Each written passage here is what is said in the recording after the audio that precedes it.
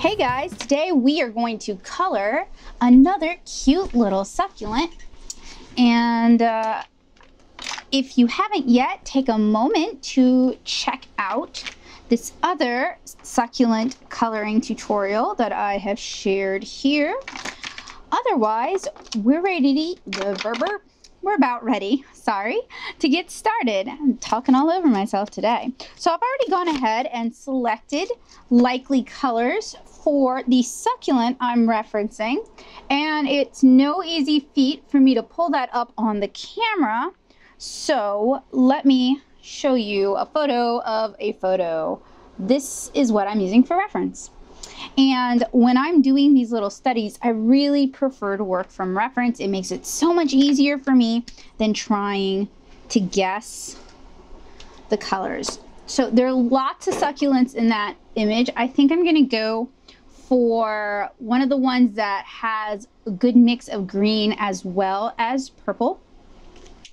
And I'm going to, hmm, it's not really as bright a green as I'd hope. I am going to find a green that is bright enough for what I want. I might have to go pick again though. And we can't always trust the caps of our markers. So it's good to have a piece of scratch paper handy for swatching. Yeah, that's right. And I'm also going to um, so with the way these succulents are, they tend to be purple at the tips as they mature. They kind of look like artichokes a little bit. So I'm going to use my green sort of lower down on each individual leaf. Then I'm going to pull in a lighter green, in this case milky white. And I'm not only going to blend it a little bit, my intention isn't to blend it out entirely, it's just to blend it a little bit lighter because that's what the reference shows.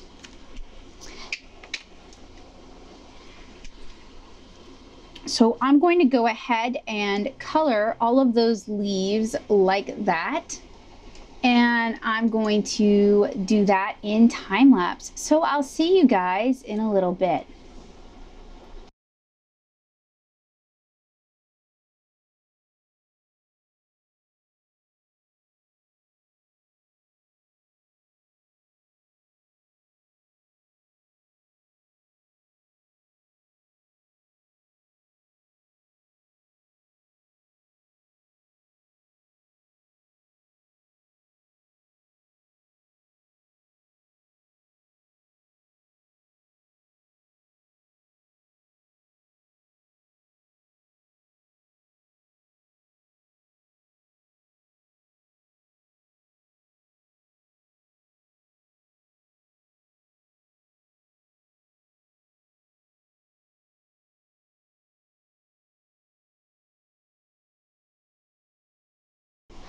Next, I'm going to use a very light, very hot red violet. This is um, Rose Petal in Blick Studio.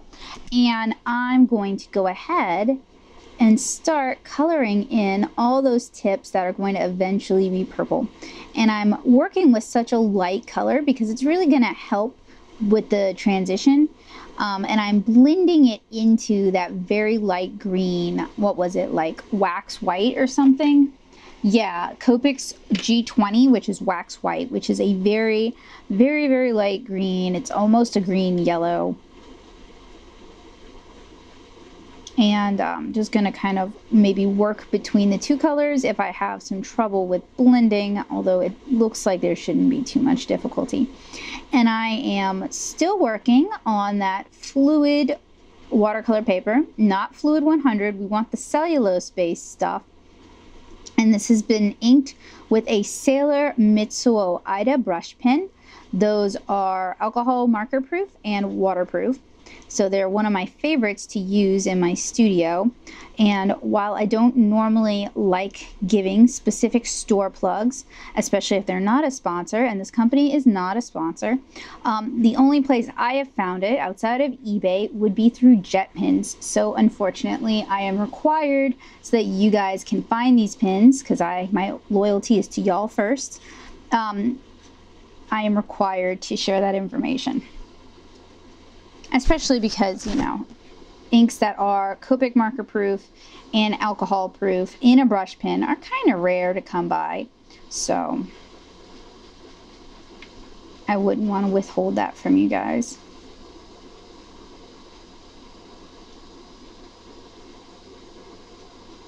Let's see if I can't add some more points in here by pushing some of the ink back using this very light color.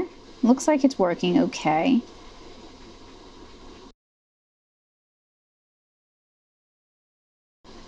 And I'm even going to work some of that pink into that darker green.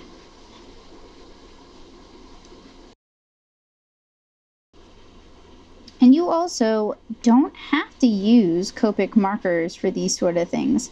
Prismacolors work really well. Shinhan Twin Touches work really well. Blick Studio brushes, like the one I'm using here, work really well. And the Blicks are the cheapest they are Dick Blick's store brand alcohol markers. Now you do want the ones with the brush tips. Those are the best, in my opinion, because I do prefer brush tips. I know some people really hate them. I've gotten that in my comments before. oh, that is not a color that I want. So while this is still wet, I'm going to go ahead and go in with another purple and I'm going to blend between the two. So I need to find the pink I just had. As you can see, I'm blending between a Blick and a Prismacolor.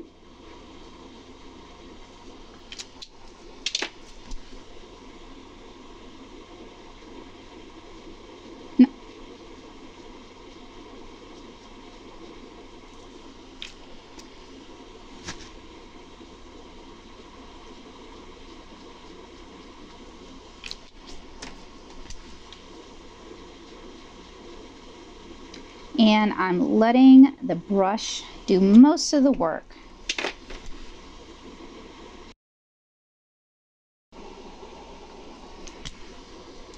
Oh. And I'm just going to do what I'm doing here for all of the little spiky nodules. And I'm going to go ahead and do that in time lapse.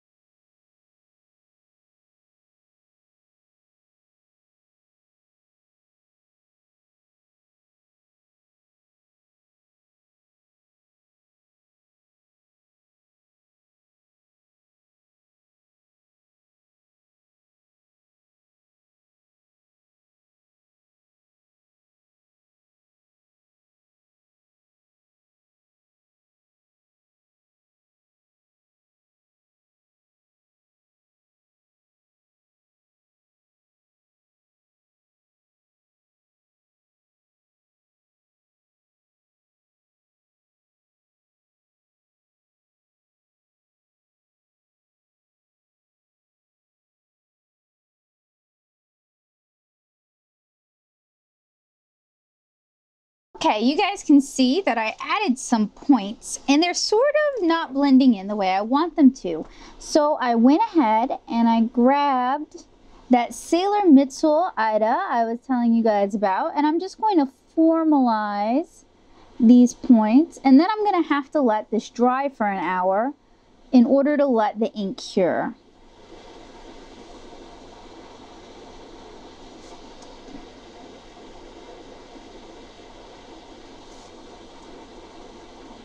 I definitely thought it needed more points.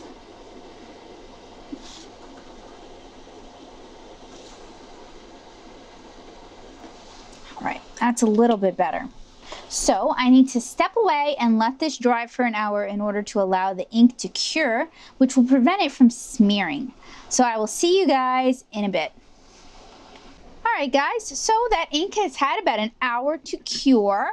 And we're going to go ahead and start working again on the green part of the succulent. And I'm going to work back and forth between these three colors, wax white, apple green, and Nile green. But really you just want three uh, colors that are roughly in the same sort of progression. Um, so, you know, it doesn't have to be brand specific.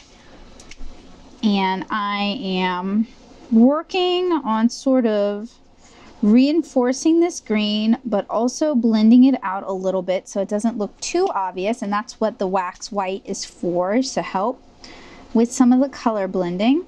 And I'm just going to do that all over this succulent. And I'm going to do that in time lapse because you guys really don't need to see. But as I blend, I blend out with the color I used previously, and that helps create smoother blends without pushing color away.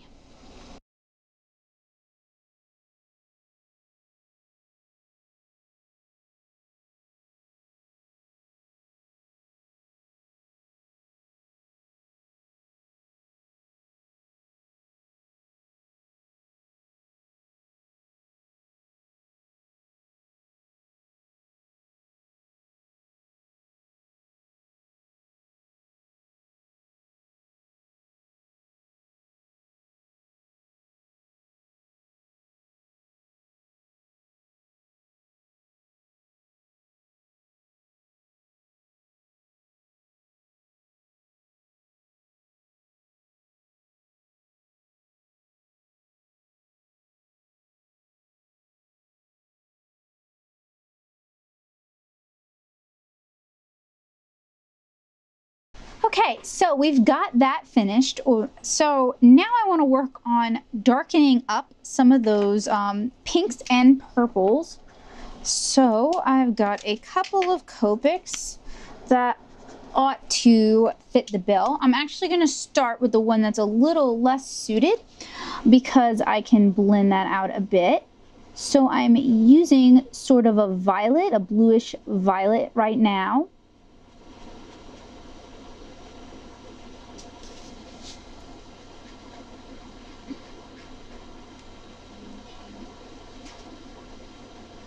And I'm using a lot of it on the edges which I will now blend out with this RV in Peony which is actually pretty dark.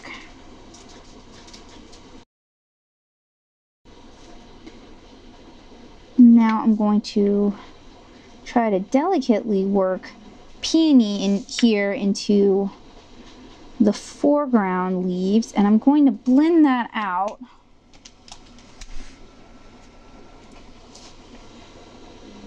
with this Prismacolor Red Violet, which is really more of a pink. And I'm kind of making a mess with this. This one was not as easy for whatever reason.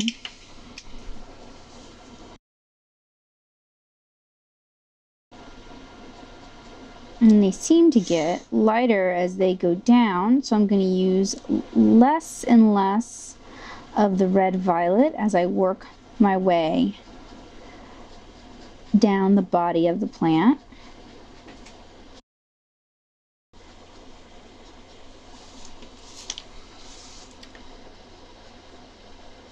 And then I'm going to blend those out.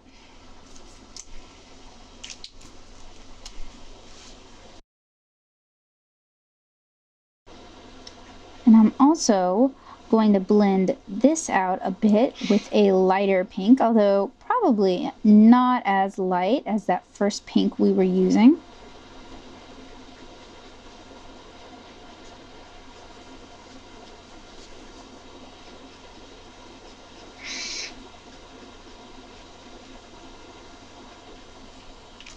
So I have here magenta. Let's do a swatch. Mm, that might be a little hotter than I want. Let's try. Hmm. Very berry might be too light. Let's find out. Yeah, not the right color. I guess magenta it is.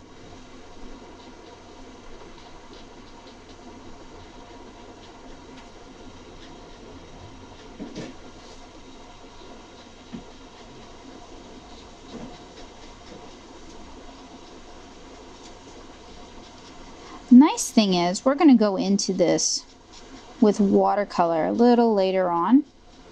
So some of what looks like color inaccuracies or just uh, kind of rough areas of color are going to be far less noticeable because I'm going to use the watercolor to help make the transition a lot better. And then I'm going to grab that light pink that I used way early on and try to blend it a little bit better into the green body of the leaves. And I'm pulling sort of from the center where there's a lot of that uh, darker color.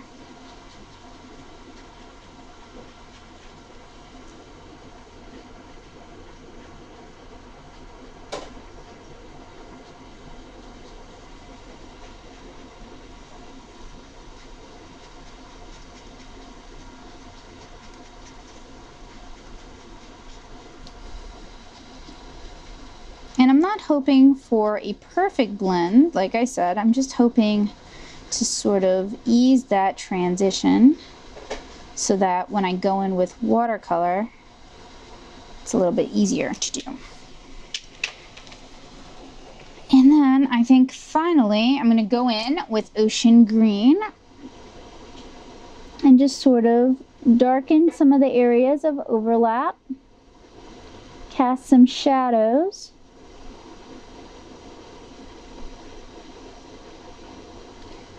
Build in some contrast.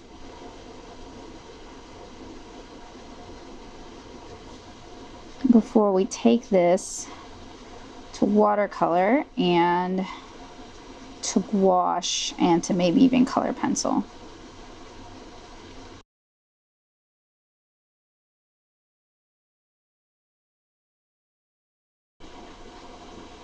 All right. So I'm to pick up these markers and we're to start working in watercolor. Alright guys, so we have cleaned things up a little bit and we have switched on over to the watercolor. And the first thing I'm going to do is I'm going to paint a background on this the way I painted one on the other tutorial piece. So the first thing I'm doing is I'm activating some of my pigments so that they will go down a little bit easier easier to blend, etc. And I'm also going to activate some greens because I have a feeling I'm going to need those as well. As well as that dark red and this cherry red here. Maybe a little bit of the mauve. So the first thing I'm going to do is I'm going to go ahead and paint in a ground or the beginnings of a ground and I'm using a size 4 Creative Mark Rhapsody round made by Jerry's Artorama.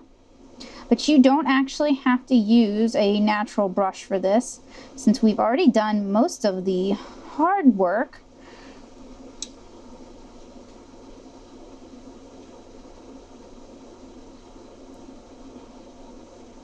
But if you do have a nicer brush and it's handy, you can go ahead and pull that out. I would never tell you, well, there would be certain instances where I would tell you don't use an ice brush for this, like if we were applying frisket or something. But when it comes to just painting, I would never tell you don't use an ice brush if you have an ice brush. But if you don't have an ice brush, you don't really need to worry about it. You can even use a water brush at this stage if you want to. And for the most part, other than working around the stems and leaves, I am doing long brush strokes and occasionally I'm flooding it with water just for some changes in tone. This makes things interesting. And then while it's still wet, I'm going to go in with a darker color, in this case Van Dyke Brown, and I'm just going to put in here and there some darker areas just like you would see in real soil or dirt. Then go ahead with some sepia and this is all going to sort of diffuse So you may want to go back into it later on.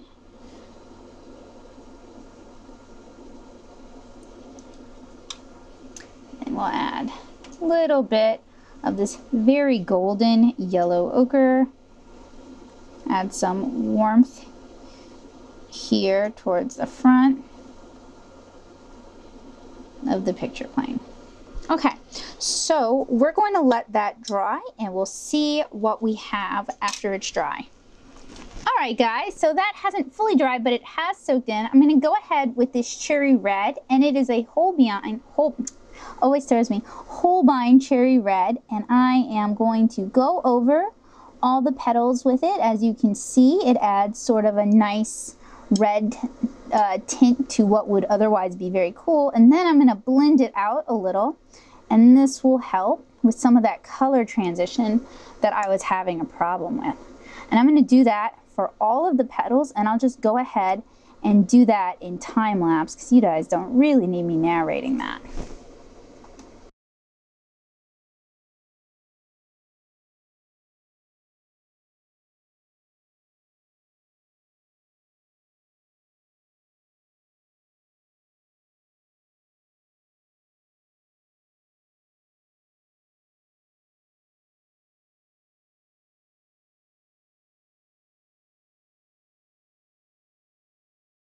Right, so I've got that first layer of red on there. As you can see, it really dulled down the green a whole lot. I'm not going to concern myself with that too much right now. I'm going to focus instead on adding another layer of watercolor here to the foreground, adding some more details. I knew that adding the red would tone down the green, which is kind of a shame because in the photo, the green is this really nice, vibrant green but um, I knew it was going to happen because red and green are complements. So even though I can probably pop some blues and darker greens into the, the shadows and help bump up the contrast a little bit more, if I really wanted to add the green back or add some green back, I would need to do that with color pencil or opaque watercolor. And I'm not a big fan of opaque watercolor, and I'm not talking about gouache, I'm talking about opaque watercolor. You guys have probably seen me use it a couple times on this channel. Um, so I will probably just do it with color pencil or watercolor pencil once everything has had a chance to dry. So with these little paintings, sometimes they're more mixed media than others. With the last tutorial I did for you guys, it was really more water, I mean more um, alcohol marker with some hint of watercolor in there. This time the reverse seems to be true. It seems like I'm really utilizing the watercolor to help carry things and the marker was really just there as a guideline.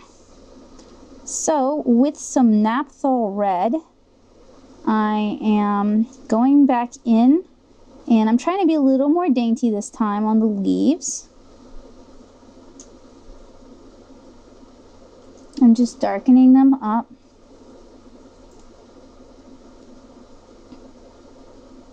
And in the end, we need to keep in mind that this is really a study.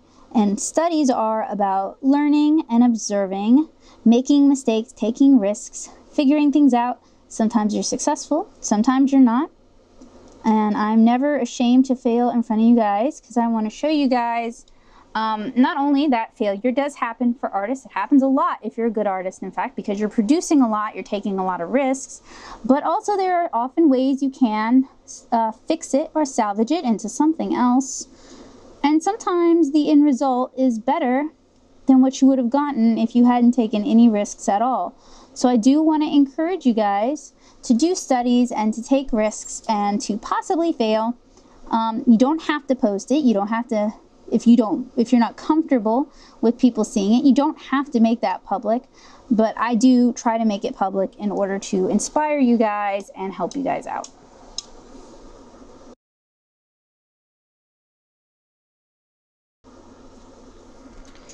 All right so adding that red definitely did help with the contrast a bit I will still add that darker blue and I will still allow this to dry and then go in with the lighter color pencil. But for now, I need to allow this layer to dry. All right, so The red is definitely not dry, but that is okay. It should facilitate some blending. So I've got a very green blue as well as some indigo.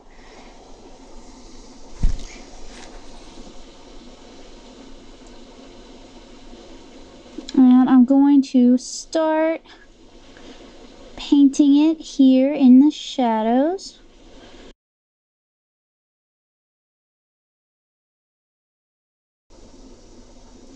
And on the leaves, I'm using a lighter mixture of the color. All right, I'm going to let this dry. Then I'm going to do a little bit of shadow color where necessary. We'll let that dry fully and I'll pull out the pencil colors. Alright guys, so we're pretty much at the last stage for watercolor and then I need to let this dry thoroughly before we can switch over to color pencil. And for this stage I am activating some purple because we're going to apply a shadow color. I am also um, activating some Payne's Gray.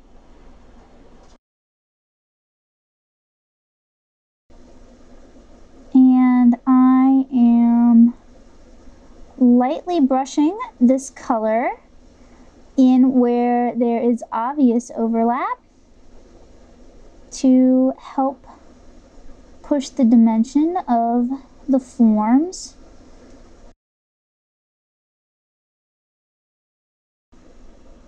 All right, and now I need to let this dry completely before I can add in the color pencil, which will hopefully pop some of those greens back in and make it a little bit more vibrant. So I'm gonna let this dry for a couple hours and then I will return.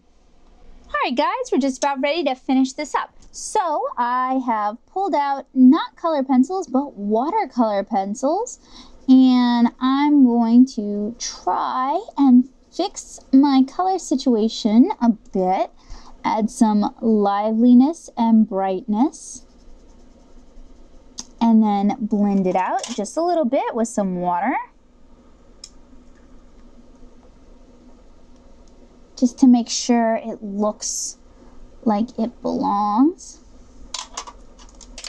Because that's the whole point when you do corrections is you don't want it to be noticeable that you did a salvage job. So sometimes that means blending a little bit and that's easier to do with watercolor pencils I find to blend out into other mixed media than it is with color pencils because I don't have to pull out Gamsol, I don't have to pull out any other sort of solvents. I don't have to use the alcohol markers again because sometimes you can get alcohol markers to melt your color pencils and blend them a little bit better. I don't have to do any of that. I just use a little bit of water to sort of meld the edges together.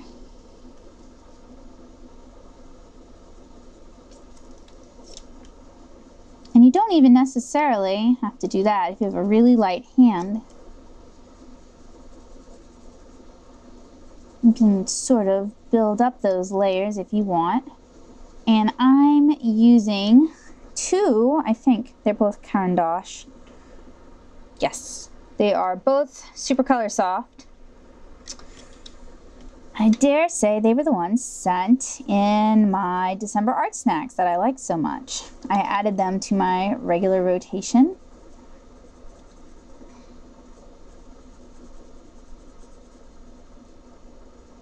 And you may have to go back and forth between colors and creating layers and between blending and letting it dry. But you know, making something enjoyable, making something beautiful or pretty or whatever, is also about sort of just spending the time and enjoying it. That's why I'm not a fan of those quick videos, quick tutorials on YouTube because I really want to instill a love of the craft. It shouldn't just be something that you or I feel like it's a shame if it only ever stays something that you are only doing it so you can whip it out in five minutes. It's part of the reason why I'm okay with making mistakes in front of you guys because I know it can be intimidating to get started because you think, well, you know, I'm just no good. I'm never going to get any better. But you will. You will get better. You just have to be willing to put the time in. And that's most people's problem is they are not willing to put the time in. And some of us do take longer than others. I'm one of those who took longer than others. Uh, anytime I anytime I apply for like a art teaching sort of gig, I mention that I didn't improve for 10 years. And the intention is not to belittle myself. My intention is to say, you know, I understand what these students are going through. I went through the same thing. I found methods that help me. I think I can find methods to help your students.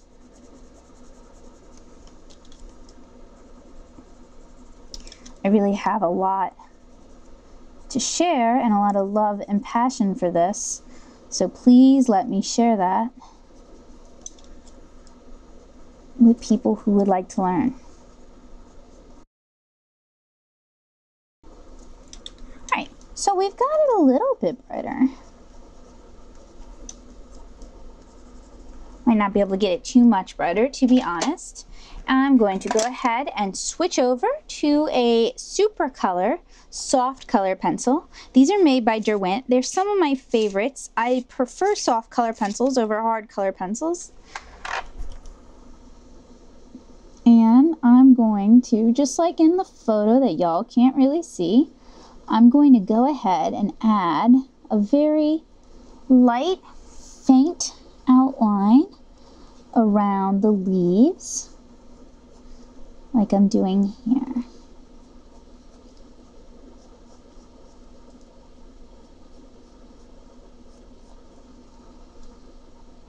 Some seem to have a little more than others. Also going to use this to add a little bit of light, maybe. I really, really don't want you guys to let making art intimidate you. There's so many good resources online, and you know you can always ask me. I'll try to get to it, usually with a video. And I do have that outside blog at nattosoup.blogspot.com. I've been doing that for a long time too. Um, but there are loads of great resources that are designed to, to help you get started.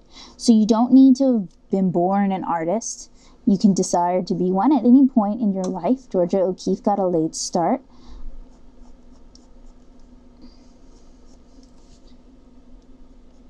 You don't have to have gone to art school, not that there's anything wrong with having gone. I went, but you don't have to go in order to become an artist. For sure, you don't have to go. That's sort of a as a per person basis. Some people really, really grow and thrive best in an environment where they have some guidance, where someone can critique their work. And some people kind of grow and learn best in an environment that's completely free and open, and they're able to explore without feeling like they um, have to produce. So, but there's so many resources out there. I don't ever want to hear you guys give me the excuse that, well, I didn't go to art school. Because, you know, most of what I've learned doing this stuff wasn't learned in art school.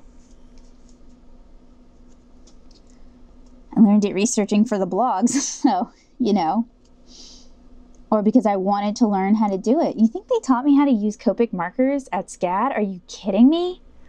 I had a friend who knew how to use them and she kind of showed me, but she didn't want me like uh, ripping her off style wise. So I, I did a lot of a lot of experimenting and a lot of learning and a lot of studies from reference in order to learn how to use them. And the same watercolor, I mean, I was pretty much, it was me and the internet. You know, that, that was definitely not taught at SCAD. I, I was a comics major. I wasn't an illustration major, guys. Not that I'm at all disparaging comics, not in least. I'm just saying, like, you know, those sort of traditional media techniques by the time I was at school, that school, they were kind of not being taught in class. It's like cool if you wanted to learn how to use it, but you you kind of had to do it on your own time. So I'm using a little bit of white gouache just here and there to reinforce some of those highlights.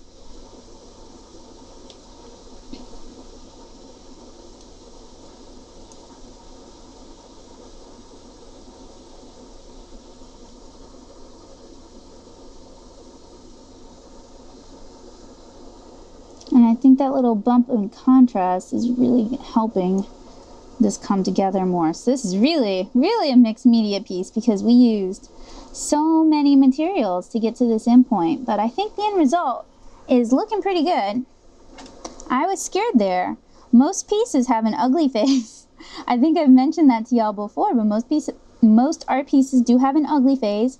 That's if you're actually taking risks. If you're not taking risks, then maybe you don't see the ugly phase anymore because you know, you know, you're going to get past it. Or maybe, you know, you're not taking enough risks so you're not seeing the ugly phase.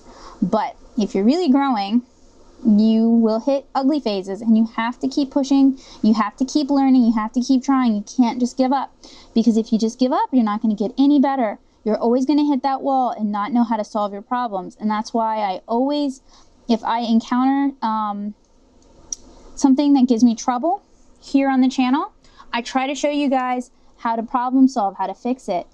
Um, even sometimes to the point of we'll redo it entirely from scratch because I didn't like how it looked. Um, and that is because I really want you guys to understand that that's okay. That most artists online even even YouTubers, they may have had to record things three or four times in order to get it just right. You really don't know. So um, don't be too hard on yourselves.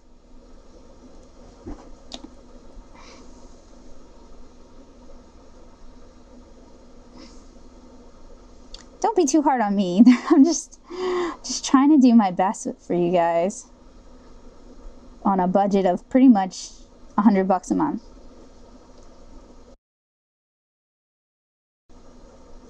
Know, I'm not going to demonstrate fine art. This isn't fine art. It's cute. It's nice. You know, it's a good study, but it's not fine art.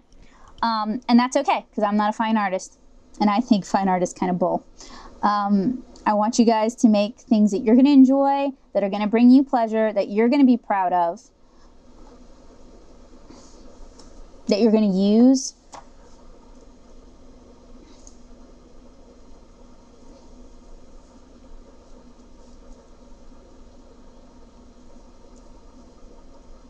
It's all important to me.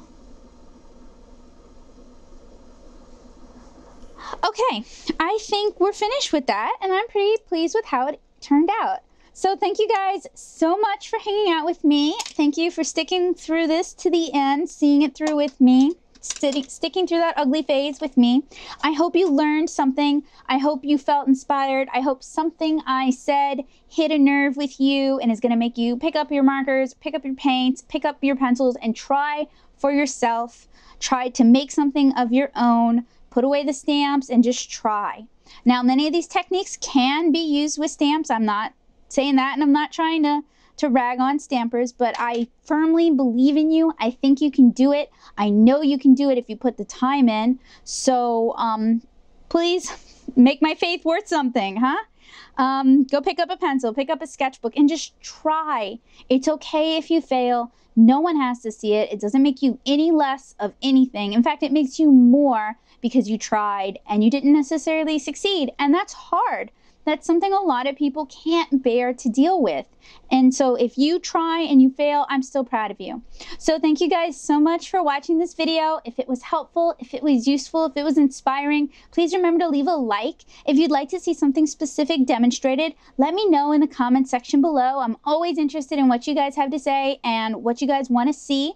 I am here to help show you, help inspire you, help get you drawing and painting and markering. So if there's something you need, just let me know. If you like what I do, if you want to help support it, there are a number of ways you can do that. One, you can go read the blog at nattosoup.blogspot.com. There is so much good stuff over there, guys. You're seriously, seriously missing out. If you like this YouTube, you will love the blog. Right now, I am working on a massive watercolor basic series that is designed to get people from all walks of life painting. To be fair, the intention is painting for comics because I am a kidlit illustrator. I do have a book out, 7-inch Kara Volume 1. You can pick that up at nattosoup.com slash uh, Kara hyphen comic or by checking me out at any of my shows. So yeah, my tutorials, my series do tend to be around you know, watercolor for comics because I love comics. Um, but you know, a lot of what I show you guys is applicable to any sort of illustration and can be used with stamps as well. So there's a lot you can go learn over there. If you're interested in watercolor, I've also reviewed dozens, I'm not even kidding, dozens of alcohol markers. So if you're interested in those, that's another reason to go check out the blog. Everything is organized under series uh, subheadings. So hopefully you can find what you're looking for. And you can always leave me a question over there. I do have a couple from over the Christmas break that I do need to respond to, but I do try to answer those in a timely fashion. Another way that you can help me out is by subscribing to my channel and you that way you will get weekly updates. I do these sort of tutorials, tips, tricks, and reviews twice a week. So if you want to go diving through my backlog and see what other goodies I've got, I've got a lot of alcohol marker goodness and a lot of watercolor goodness up here. So if you're interested in these sort of tutorials, tutorials, please go diving through my backlog and check some of those videos out. They are great. If you um, stick around for the in card, I will link those playlists so that you can have access to them super easy. Another way you can help is by writing to the companies whose products I have used in these sort of posts, videos, what have you. Um, in this, I use Prismacolor markers, I use Copic markers, I use Blick Studio brush markers, Winsor Newton and Daniel Smith watercolors, um, Utrecht, which is Blick, gouache, and Supracolor color pencils. Now, usually those companies are very much not interested in you if you use more than one brand on your stuff. So that does make me slightly less attractive to them, but your good word goes a super long way. Another way you can help is to share this with your friends and family over on your favorite social media. And the last way you can help is by joining me and my colony of art nerds over on the Patreon at patreon.com slash nattosoup. And your $2 a month or however much you feel like contributing goes to helping me make more like this. So thank you guys again so much for watching. Have a great day. I hope I will see you really soon. Bye.